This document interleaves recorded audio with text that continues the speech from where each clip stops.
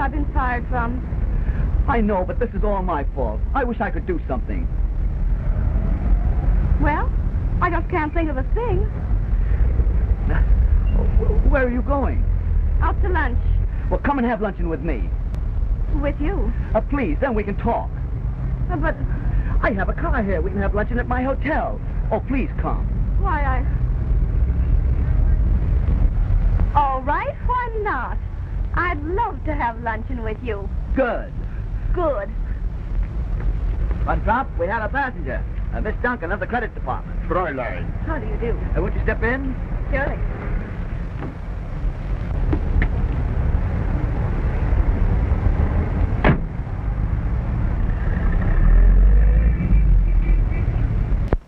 You. Do, Your Highness.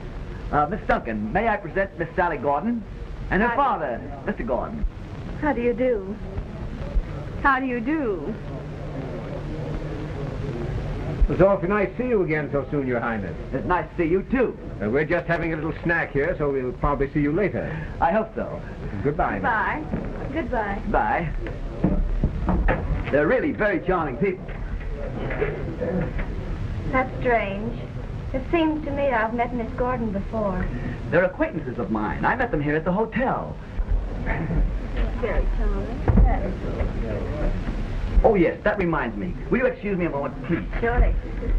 Uh, what do we have here? Would you like a little salad or something light and what? Anything like that? Oh, pardon.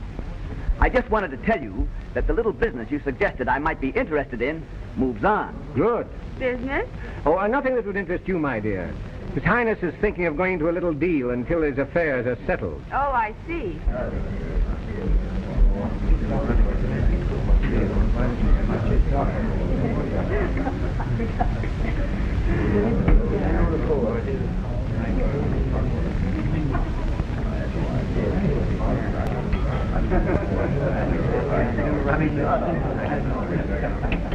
I hope we'll see you. Uh, soon.